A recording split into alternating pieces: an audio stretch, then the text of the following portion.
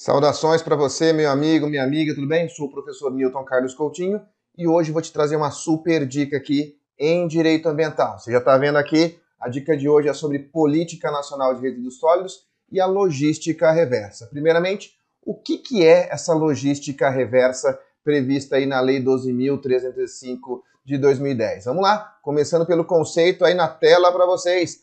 Logística reversa é um instrumento de desenvolvimento econômico no qual, né, no qual eu vou ter um conjunto de ações, procedimentos e outros meios que serão utilizados para viabilizar aí a coleta e a restituição de resíduos sólidos para o setor empresarial ou para reaproveitamento no seu ciclo de vida ou em outros ciclos produtivos ou ainda uma outra destinação final que seja ambientalmente adequado. Então, nós temos alguns produtos, pessoal, que precisam né, de um cuidado especial, que eu não posso deixar ele para o caminhão de lixo passar e levar, porque não vai dar certo, não vai funcionar. Então, o que, que a lei estabeleceu?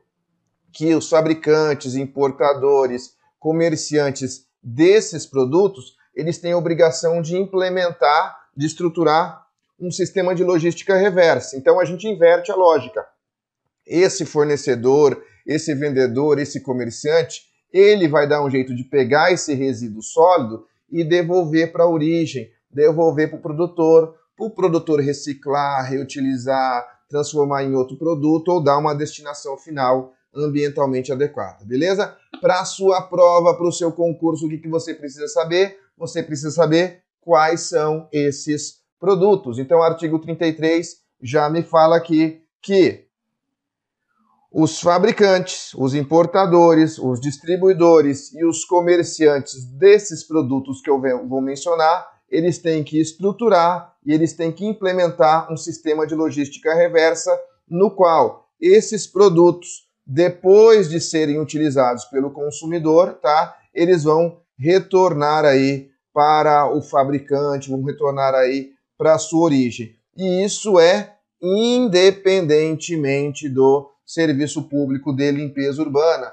Então, esses resíduos sólidos que eu vou mencionar com vocês agora, você não vai colocar ele para o caminhão de lixo passar e levar, não. Você vai deixar com o comerciante, com o vendedor, e esse vendedor vai se virar, tá? Exemplos, pessoal, vou começar aqui com item 3, pneus. Você quer trocar seu pneu, seu pneu está careca, você vai na concessionária, você troca os quatro pneus, você deixa lá quatro pneus carecas para aquela concessionária, para aquela loja, e essa loja vai dar um jeito de devolver esses quatro pneus lá para a origem, tá? Então, quem comercializa agrotóxicos, embalagens de agrotóxicos, resíduos de agrotóxico, tá? Esses resíduos que são considerados resíduos perigosos, tá? Ele vai fazer o gerenciamento e vai devolver esse agrotóxico lá para a origem. Da mesma forma, o fabricante, importador, comerciante aí de pilha e bateria,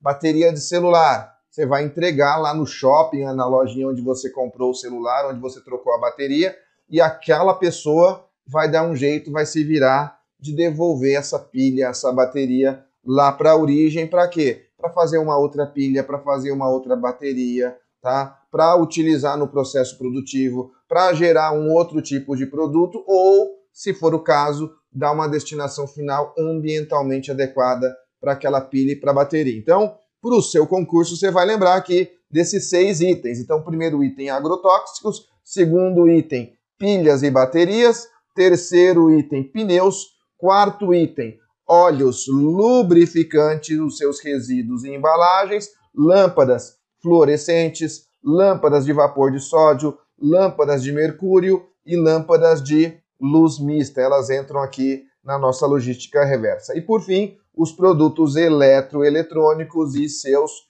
componentes. Todos esses produtos aqui, eles entram nessa logística reversa e são devolvidos aí para a origem, para reciclagem, reutilização ou é, colocação no processo produtivo ou em outro processo produtivo, tá bom? Abraço para vocês, tchau, tchau.